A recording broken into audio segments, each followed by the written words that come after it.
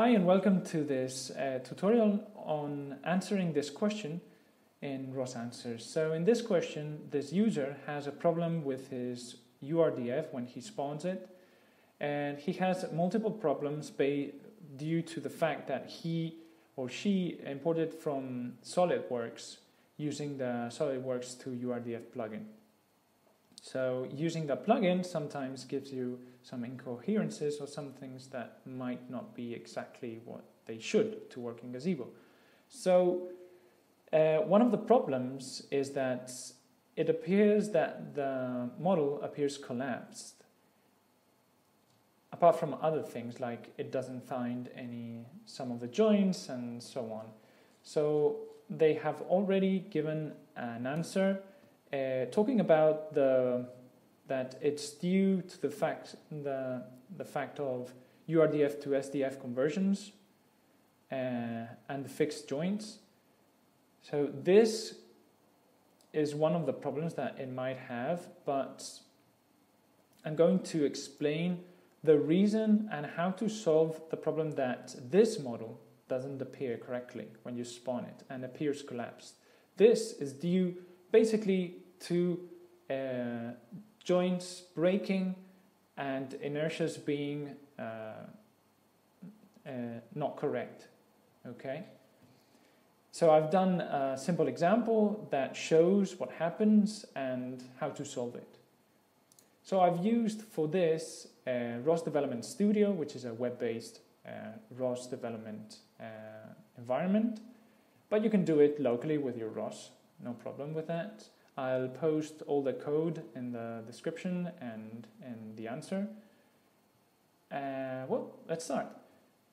So the first thing, I'm going to launch a simulation, which I have here already, and I've launched this, let me show you. So I have the IDE here, which I've already launched through here. So code editor, you see, and then I have also web shell. You can have it also here, but for me, it's it, for the tutorial. I think it's better that I show you here in uh, different tabs. Okay, but it's the same simulation.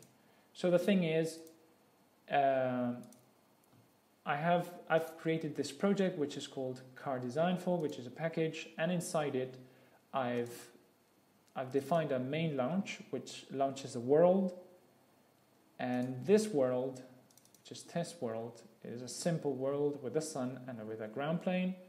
I've also done one for gravity testing with no gravity. This allows us to see why something, why this model doesn't work and collapses like this. And we'll see in a minute. So I've launched the main launch and in this world. And now this world that we have here we are now going to spawn. So I have it here prepared already. So whoop little so now let me let me launch first.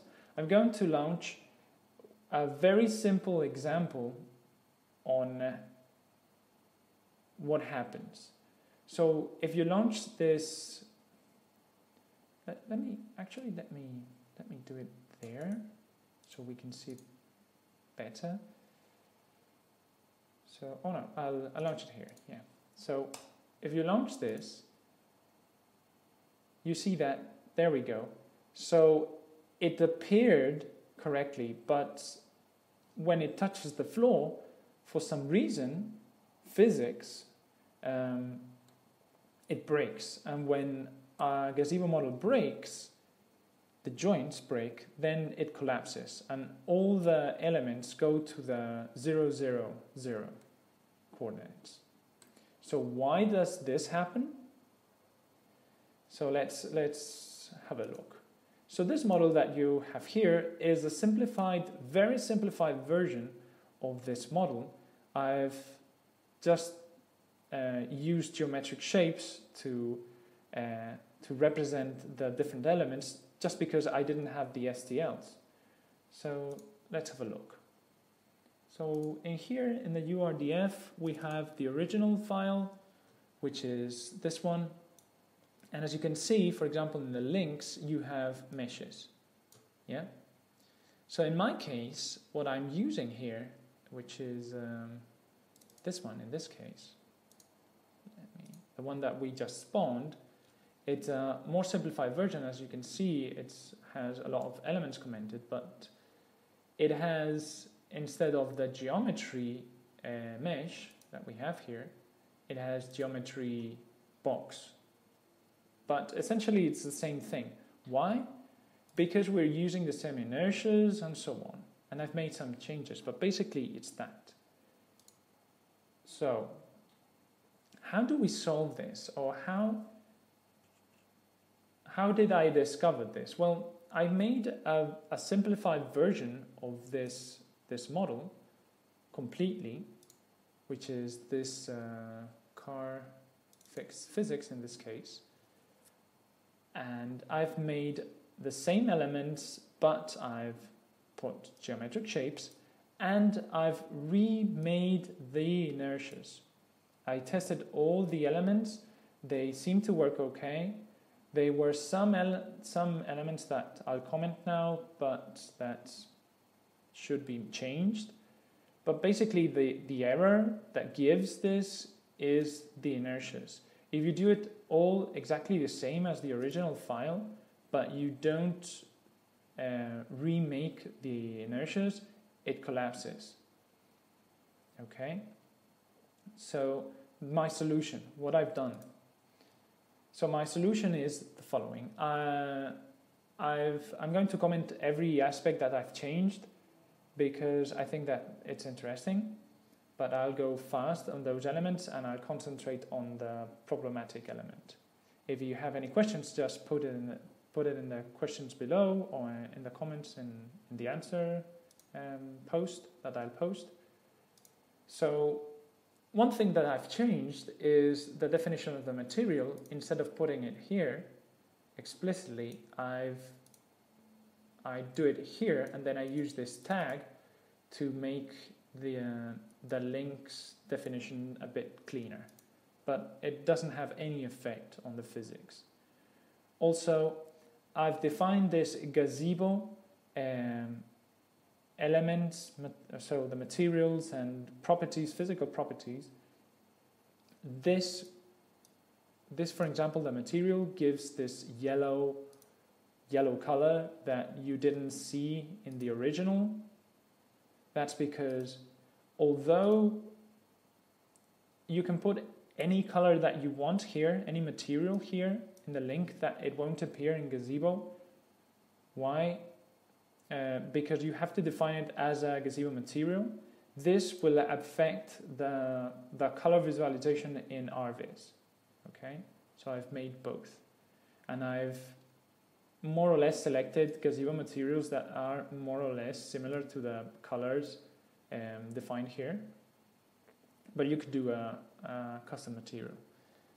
So the next thing I've done is, of course, I've changed the the values of the origins and so on, just because the STLs have different origins maybe that the geometric shapes. So I've made like 0, 0, 0. And the most important part is this, the inertias. As you can see, I've made very simple inertias based on geometric shapes. And for some reason, if you put geometric shapes but you put these inertias, it doesn't work. The, the proof, the proof is this one. This one is exactly the same as the one here, which this one does work, but as you can see has the original inertias. Uh, let's have a look on how it works, the one that works. So let's remove this model and let's launch. Mm -hmm. There we go. And there we go. So here it's the whole element with the different links. And as you can see, the physics are working perfectly, so I can grab it and move it around and turn it a bit just works, okay? And it doesn't collapse. This is the important part. And the thing is, it doesn't have, it's only the inertias. The joints don't, don't have anything to do there. So I've made, for example, let's have a look to the wheel joints. So for example, here, I stated the physics, the effort, like humongous, okay? And here also, the one, this one is the one that doesn't work, and you stay the same, but this has to do more when you move it around and the efforts and the in the joints, but it breaks anyways. Why? Because of these inertias is the only thing that changes. So how did I calculate this? Because okay, I have my own robot and I have to do this. How do I do this? Well, I highly recommend that you first use mm, basic geometric shapes for the collisions if you can. And that way you can have a better understanding of the physics of your model, the basics of your model. And then when you have it, then you can substitute the, the collisions to models, to STLs or simplified versions of the, of the 3D meshes. So to calculate this, we, what we can do what I've done, I have a script that, that I'll post in the answer, which is, let me see, rosrun spawn robot tools, inertias, calculator, and it's a simple calculator for uh, uh, basic geometric shapes, inertias. So what I have is I select, for example, the box, then I select, let me see, for example, um, wait a sec, so this one, for example, there we go. We state the mass, we state the dimensions of the box in this case, so 0 0.1, 0 0.2, and 0, 0, 0.1. So 0 0.1, 0 0.2, 0 0.0001. Yeah.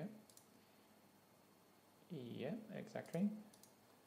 And there you go and it calculates the inertias. And once you have it, then you state this one and you copy paste them in the correct place.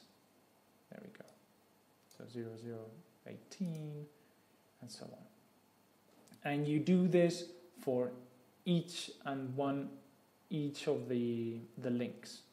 And that way it works.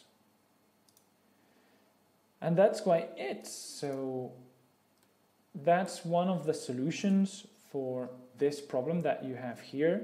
Of course, you might have more problems based on on the on the different issues that you talk about here. So if you have more issues after trying this and making the robot model appear as it should, then uh, I will be happy to do more videos about this for certain topics and so on. And that's it. So uh, thank you very much and hope this was useful. And, and think about subscribing if you want to have more information and more knowledge about ROS videos and so on. And see you soon. Bye.